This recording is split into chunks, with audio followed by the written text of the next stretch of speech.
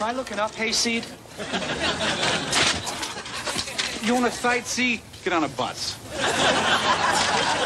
Please don't think all New Yorkers are so rude. Oh, no, actually, I'm, uh... I'm Marianne.